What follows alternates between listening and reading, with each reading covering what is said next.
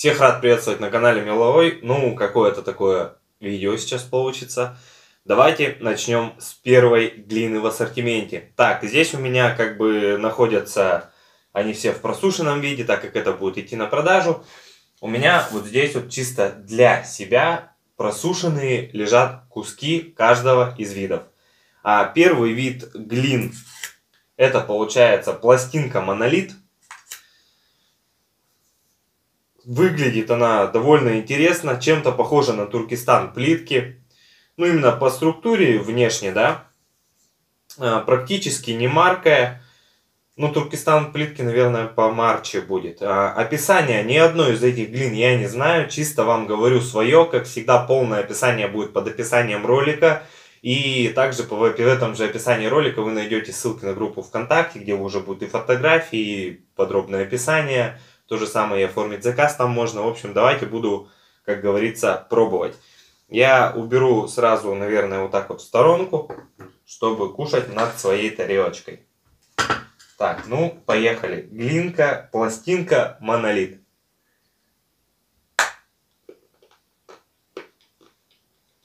откусывается довольно сложно.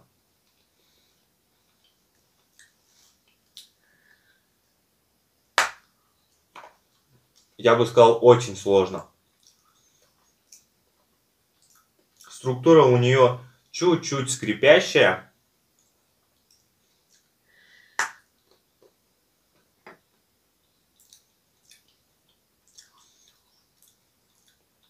Вкус такой немножко земляной в то же время очень похожа на глину крупинка. Чем похожа? Это тем, что вкус каких-то будто бы кирпичей, знаете, вот чего-то такого. Ну, возможно, то на то и есть. Глина еще такая красная. Чего-то, как обычно, я могу не договорить, потому что, ну, я в глинах не супер специалист, да, я их попробовал около 30 штук, и то вот для вас, для ролика, чтобы как бы вы там клиент или люди, которым это все нравится смотреть, для вас это показать. А так в основном я хрущу, конечно же, только мелом, и не зря я его здесь себе положил, чтобы закусывать эти, это все дело, да?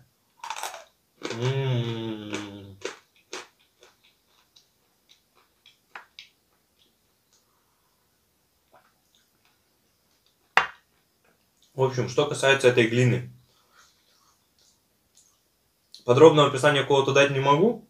Вы его увидите в описании ролика. Поэтому давайте сразу перейду к следующей. Возможно, следующее что-то смогу сказать больше. Одну из глин мы сразу же будем убирать, а, так как кусочек, и ищем здесь эту глину. Так, кусочек понятен, глина понятна.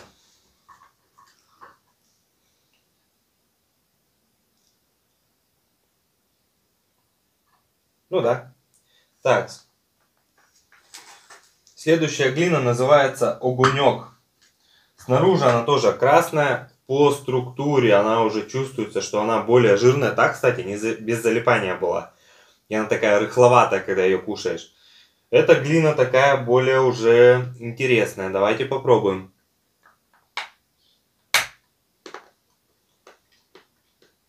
А вот по структуре они прям один в один стой. Просто М-м, вкус такой интересный, пыльный. Знаете, есть чисто меловой вкус и пыльный, да? А вот есть, э, видимо, в глине что-то похожее. Чисто глиняный вкус, что ли. Их очень сложно откусывать. Это, знаете, наверное, проще всего, вот что та глина такая монолитная какая-то была, что вот это вот идет тоже такая интересная. И вот я бы его сравнил какой-то будто мрамор, не мрамор, вот как они выглядят снаружи. Та глина такая же была, и откусываются одинаково, и структура одинаковая, немножко скрипучесть есть. То есть ты ее откусил очень сложно, а раскусывается она прям легко уже, когда откусил.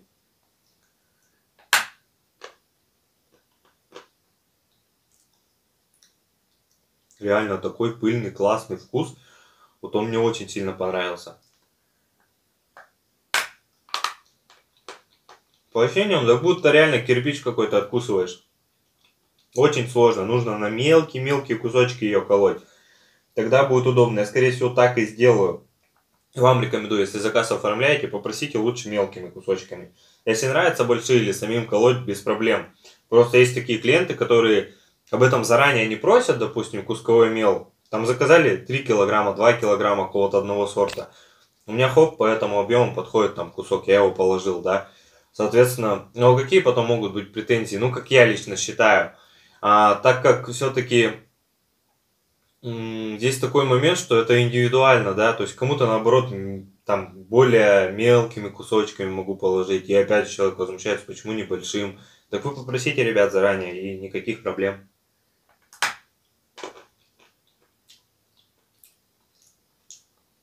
Как будто какая-то сластинка есть. Но реально их очень сложно откусывать, и они похожи с тем. Тот полегче даже можно было откусить.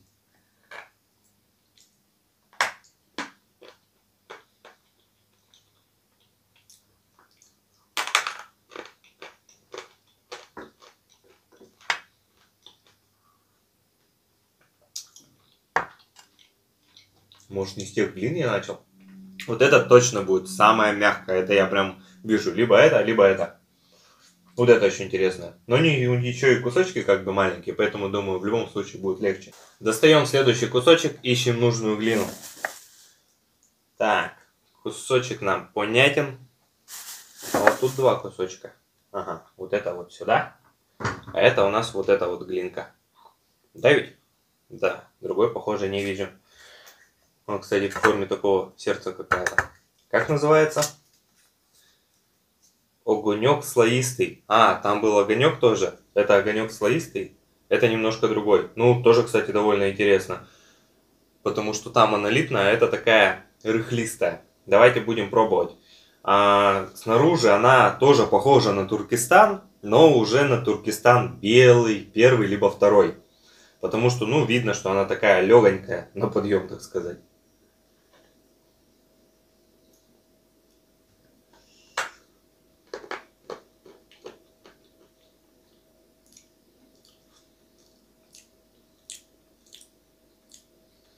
Реально с огоньком с тем прям похожи вкусы.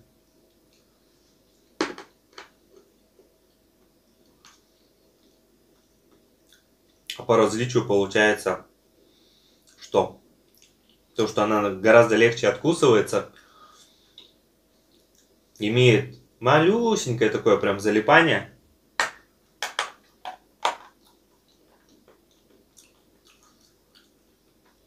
И тоже микро такое скрижание на зубах.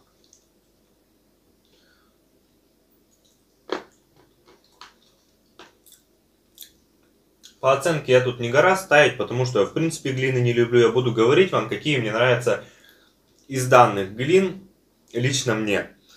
Итак, по поводу этой глины. Она идет уже более такая марка, откусывается гораздо легче, имеет небольшое залипание, небольшую песочность, прям вообще маленькую. Вкус очень-очень пыльный. Но вот я вижу такое описание. Подробное, как всегда, в описании ролика. А вот это мне прям интересно сейчас будет. Это вот эта вот глина. Глина называется серебро. Господи, я надеюсь, дальше уже будут различаться, потому что пока вот чуть ли не один в один по вкусу идут.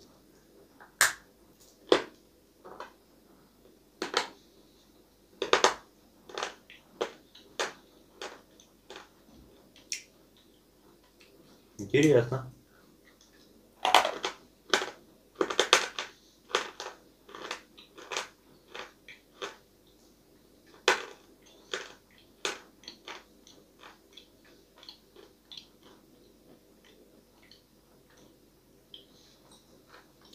Эта глина по структуре на октобе похожа. Именно когда пережевываешь. Откусывается средний, ближе к сложному. Структура какого-то безе, я не знаю. Потому что ты когда его ешь, будто бы песочное, но оно прям растворяется, растворяется, растворяется. То есть вот этого вот скрипа на зубах этого ничего нет. При этом она очень твердая. Идет она вот такими вот слоями, не знаю, оттуда вам видно, нет. Как столбики такие. Очень классная структура.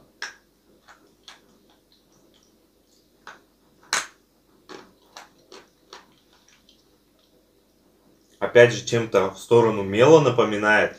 И поэтому же и схожесть с Octobe имеется. Или Octobe, вот тут я не знаю, как называете.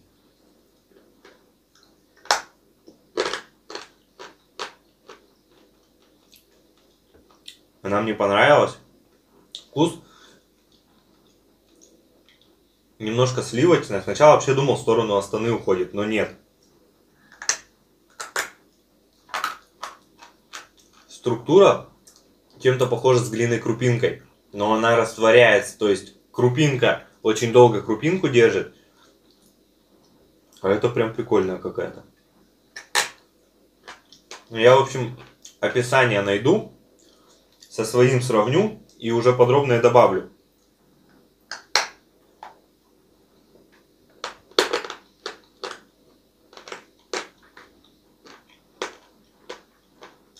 Ну, в общем, пока что из того, что я все здесь попробовал, три глины, да, это четвертая, это вау. Поехали дальше. И следующий кусочек. Это у нас глина заря. Они, кстати, по структуре внутренней очень похожи с серебром. И что-то мне кажется, что они и похожи в целом сейчас будут.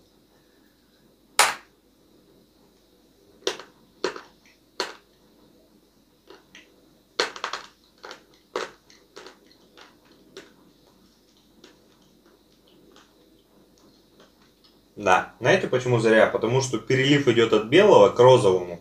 Поэтому, скорее всего, заря. Структура немножко разная. А, но, опять же, на вкус вы вот эту разницу практически не поймете. Разная, потому что я вот вижу, сравниваю тот кусок и этот. Там прям грубая такая структура внутри самой глины. Здесь же она ровными такими линиями, слоями идет. Перелив, опять же, у той, по-моему, тоже к розовому есть. То есть, очень похожие глины, но та помягче это потверже, вкус практически один в один. Так что, ребят, как-то так. Поедем к следующей уж тогда, раз эти прям похожи и по вкусу, и по цвету, и по виду. Решил на секундочку все-таки вернуться к линии Заря. По маркости они абсолютно похожи. Он, кстати, она морается даже как мел. То есть вот это вот АКТБ глина, Хотя, опять же, в Казахстане там у них считается она вообще мелом, у нас ее считают глиной, и тут неразбериха такая. Если бы я считал это мелом, это был бы прям мощный, очень глиномел, святик. Вот я бы так его назвал, но он прям очень твердый. Но у нее структура, вкус такой чуть-чуть меловой. Сама по себе рыхлая. Я веду к тому, что она мне очень понравилась по структуре. Меня тут просто на днях спрашивали, что-то похожее на уральскую. И вот мелоедам я бы смело предлагал глину серебро и глину заря. Потому что, ну, это прям вау.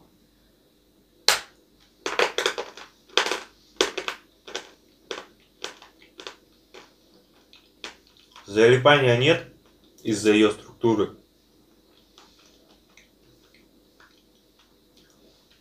Вкус такой вообще прям классный. Чем-то напоминает, кстати, даже Астану. Но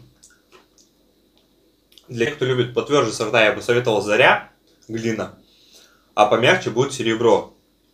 Потому что тут зубы можно сломать. Ну, сегодня какой-то капец. То один клиент за заказом заедет, то другой в итоге. Я ролик прям в сумбуре в таком записываю. Давайте, раз уж у меня тут место освободилось, это все дело поближе к себе сделаем. Чуть-чуть хоть -м -м.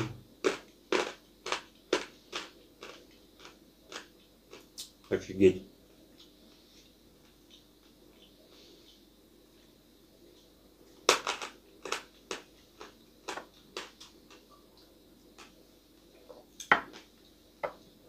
Положил уральскую сверху мело. А тут я прям большое ассорти сделал из сортов 15, наверное, для ролика. А потом пришли глины, думаю, ладно, с глины начнем, а он, этим буду закусывать. И в чем суть? Сверху закинул уральскую. Она еще на тот момент даже влажновата немножко была. Я ее сейчас пробую. Я такой понять не могу. Она же другая по вкусу. Она просто весь вкус, привкус имела, э, впитала в себя. И по вкусу стала вообще другой какой-то меловой такой прям вкус насыщенный стал. Такой интересно, думаю, ладно, поехали к следующей глине. О, вот эту я как раз таки следующую хотел попробовать. Вот эта глина, называется она какао. И вот знаете, как они идут? Сначала идет серебро, потом на нее похожая глина э, заря. И следующий самый темный оттенок, но по цвету они все три похожи, это глина какао. Но здесь прям идет перелив от очень светлого прям к очень темному. И что-то мне подсказывает, что вкусы сейчас будут повторяться. Ну, поехали.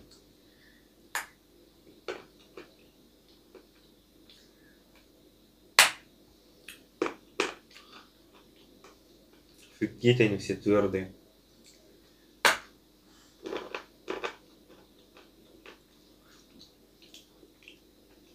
По твердости это глина заря, тоже очень твердая.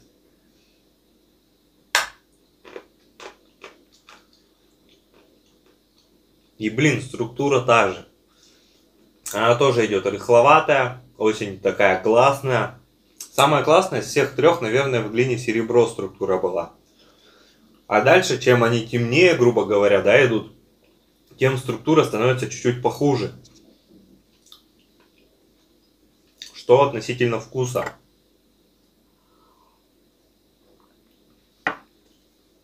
Блин, судя по структуре, это глина, вот эта глина, вот эта глина, блин.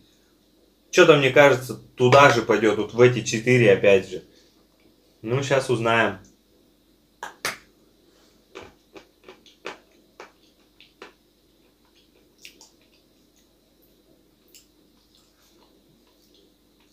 Ну, похоже на те. Вот опять же сейчас, когда уже описание найду всех сортов, посмотрю, в чем они вообще разнятся, эти описания.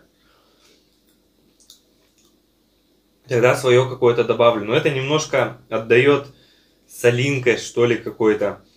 Структура чем-то на кимбрийку ближе уже похожа. Те немножко различаются. И опять же перелив, вот у нее, да, есть где-то вообще от розового к белому. Где-то вот от прям темного к белому. По ощущениям, так разные слои этой глины. Ну а соответственно, раз слои разные, то они могут и по структуре отличаться, и по вкусу отличаться. Поэтому нужно разобраться с описанием полностью потом уже сделаю какие-то выводы. Ну, поговорим об этих глинах еще в следующих роликах. Пока что поедем к следующей. Я думаю, вот это должно сильно отличаться. Это должно сильно отличаться. Это, это фиг его знает. Поехали. Хочется уже чего-то другого. Так что я перейду вот к этой глине. Эта глина называется матрешка. Выглядит она следующим образом. Она розового цвета, где-то прям очень темно-розового, где-то светло-розовый. Ну и такие переливы идут. Я думаю, здесь плюс-минус вы все равно должны это видеть. По маркости. Она самая марка из всех тех, которые сегодня были. По ощущениям. Вы знаете, глина бывает трогаешь, да? Вот Астану. И по ней сразу понятно, что она сливочная, жирная. Здесь из всех этих глин, по-моему, ни одной такой прям очень сливочной не было. Особенно которые ты по структуре понимаешь. В этой глине тоже не до конца понятно. Но она будто бы дает надежду на то, что она будет такой.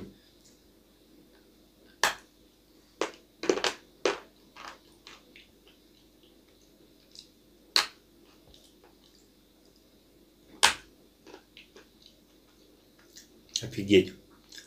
Вкус если мы сравниваем со всеми предыдущими длинами, совершенно другой. Офигеть, но структура точно такая же. Как они могут быть настолько похожими, я не понимаю.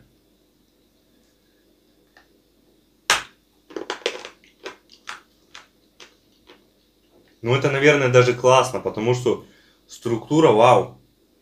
Если бы у Астаны была такая структура, это было бы просто супер. Единственный момент, что их сложно назвать сливочными, они какие-то воздушные и легкие все.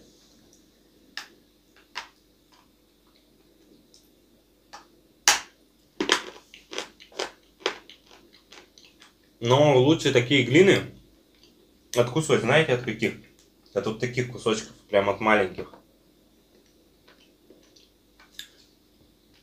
Хотя, знаете, откусил побольше, и будто бы она немножко сливочная, но до остальных прям далеко. Но структура вау всех. Вкус. Тоже немножко соленоватостью отдает. Офигеть твердый.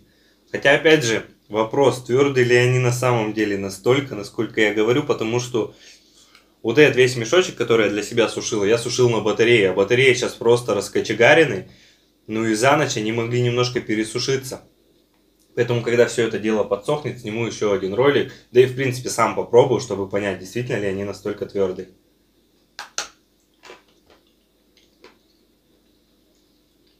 Но на мое удивление, они так классно рассыпаются.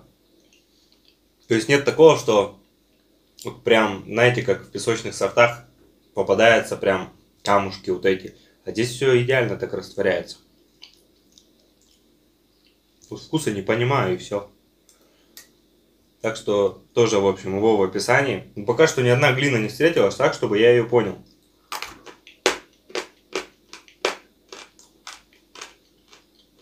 Вот уральское другое дело. Когда уральское закусываю, вау.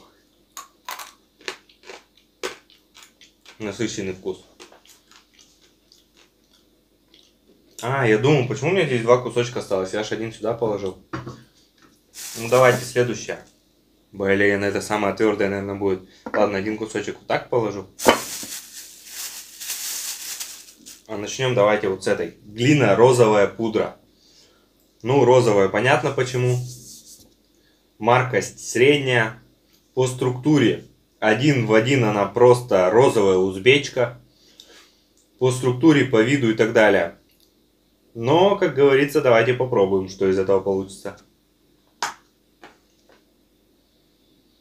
Офигеть. М-м, он так мелом пахнет. Не знаю, как это связано.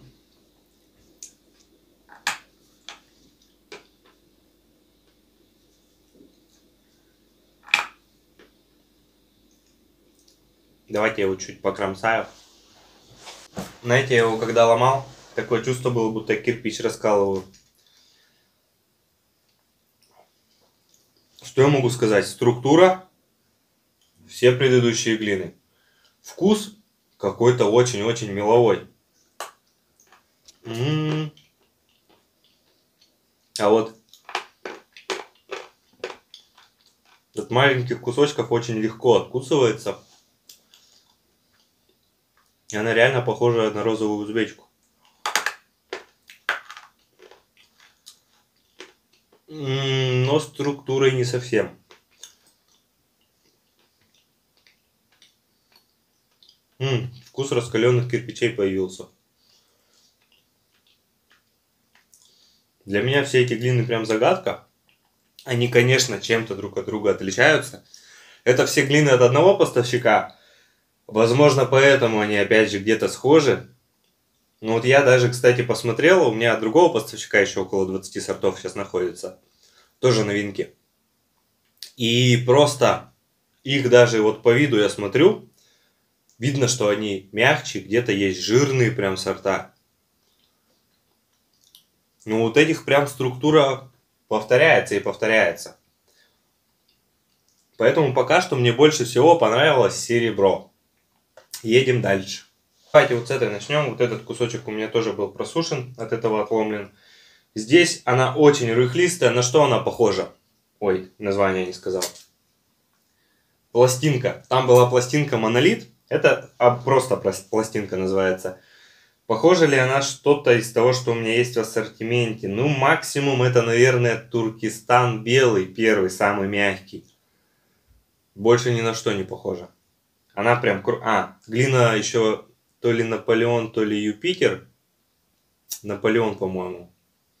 Она прям такая, крошится вся. Вот это такая же. Ну, в общем, по маркости здесь сложно сказать. Практически не маркая. В общем, пробую.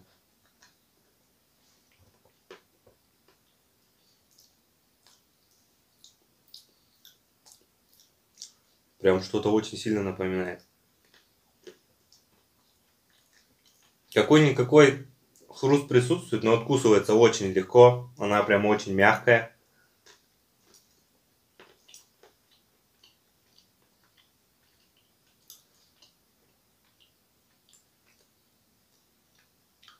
Знаете, что напоминает по вкусу? Тунгыш Тарас зеленый.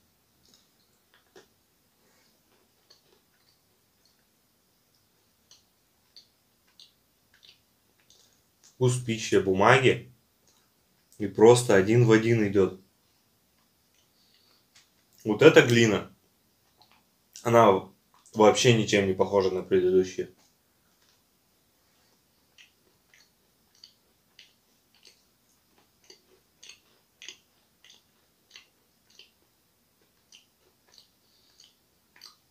не имеет залипания по структуре. Ну, скрипа как такового нету, хотя моментами где-то вот чуть-чуть что-то прослеживается, но практически нет. Вкус реально просто тунгыш разу. Не то чтобы зеленого, они плюс-минус где-то все по структуре-то, конечно, похожи. Где-то вкус пищи бумаги, где-то он немного отличается. Но вот здесь именно вкус пищи и бумаги, тунгышдараза вообще в целом. Ну, наверное, это мой фаворит из всех этих глин. Хотя вот, блин, серебро мне прям тоже сильно понравилось. Этот кусочек лучше вот сюда. Ну что, сделаем вот так для начала. Поменьше кусочек есть. М-м-м. Ну, мило это, конечно, прям вообще другое дело.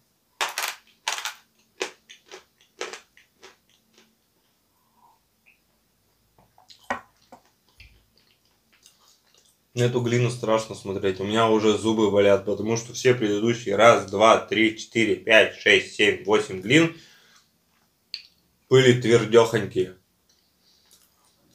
А вот это по структуре, как она выглядит, она вот реально тупо мрамор просто. Я не знаю, вот гранит.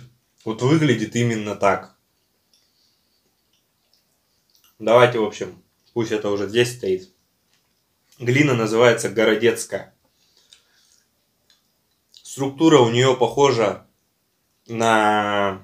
Как она называется еще разок? Блин.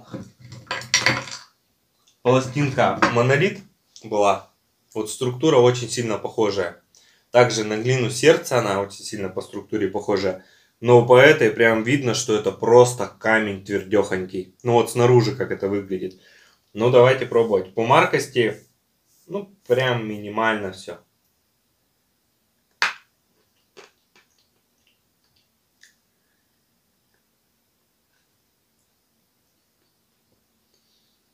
Знаете, какая еще особенность у этих глин? они выглядят реально как мрамор.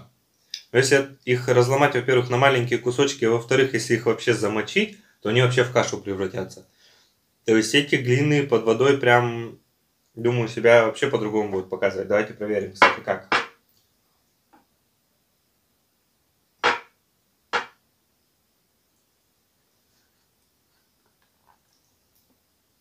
Блин, даже сложно сказать, как она себя повела.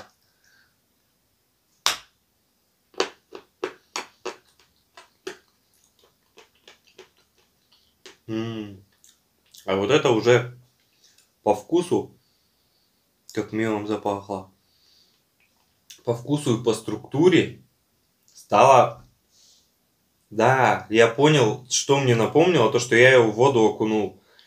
Я, в общем, когда-то хотел сделать прикольный ролик вблизи, чтобы заснять а, розовую узбечку. Ее когда намачиваешь, ну вот ты ее, допустим, под краном намочил, прям провел вот так вот рукой везде ее очистил, она прям так шикарно выглядит. После, того, я, после этого я ее положил на батарею, она вся высохла. Я думаю, сейчас подсохнет, будет вообще классно для ролика. Подсохла, вся потрескалась и стала выглядеть ужасно. Вот это выглядит так же. То есть она намокшая, выглядит так начинает прикольно. Но когда подсохнет, она потом вся трескается. И это по вкусу, по структуре очень сильно Давайте я вообще возьму кусочек розовой узбечки просто, и мы ее сравним. Розовая узбечка, кстати, в последнее время приходит ни хрена не розовая, а какая-то очень темная такая. Я бы вообще назвал коричневая, как Туркестан тот же самый. Хотя она должна быть прям розовой. Должна быть вот такой, а приходит вот такая. Ни хрена у меня только сейчас заметил тут сколько места свободного. Ну ладно, давайте попробуем.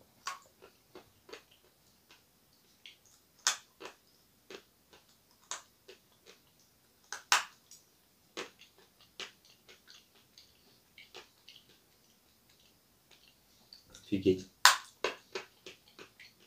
Розовую узбечку что-то я очень давно не пробовал. Соленовато.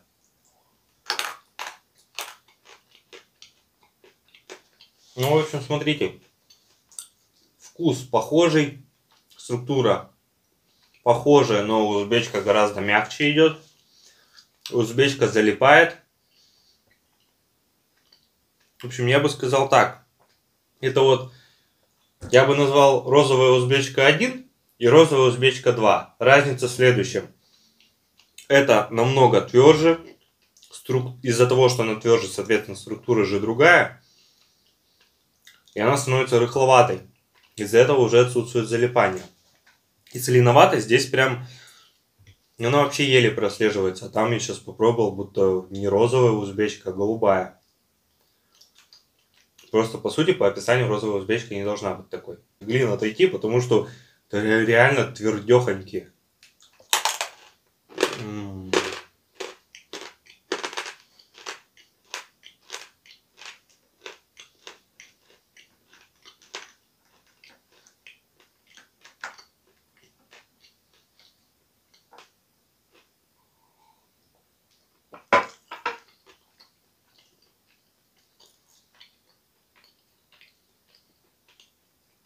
Вкуснятина.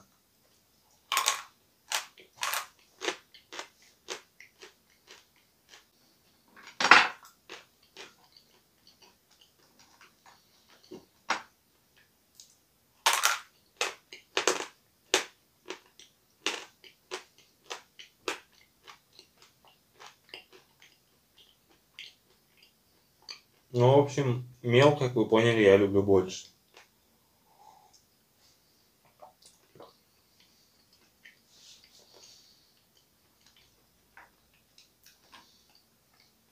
М, песчаночка.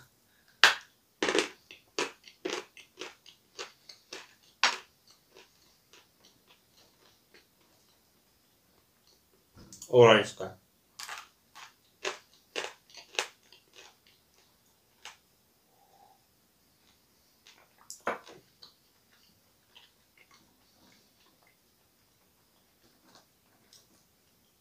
Некоторым комментариям иногда поражает, когда вот по-моему, я посылку открывал, которая мне вернулась из-за границы, которая год там колесила. А тут у меня пиленные мелки лежали. Там в комментариях кто-то написал, у вас же вся пыль на бруски упала. Это же там не гигиенично и так далее. И вот поражаюсь тому, что мы с вами едим мел и глину, которая не то чтобы годами, она веками лежит в породе, в земле. По ней веками ходили люди, животные и не только ходили.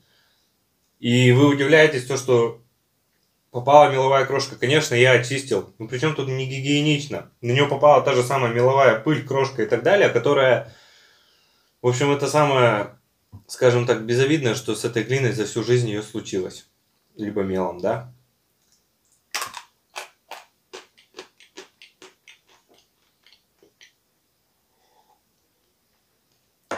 В общем, какой-то такой ролик получился.